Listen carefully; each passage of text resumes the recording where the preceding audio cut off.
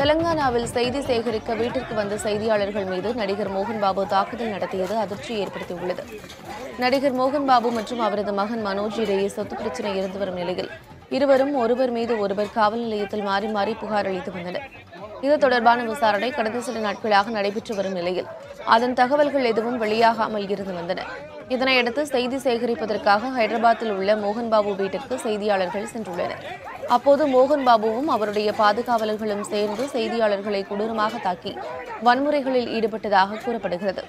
மேலும் செய்தியாளர்கள் வைத்திருந்த மைக்கை பிடுங்கி அதனை வைத்தே அவர்களை மோகன்பாபு தாக்கியதாகவும் சொல்லப்படுகிறது.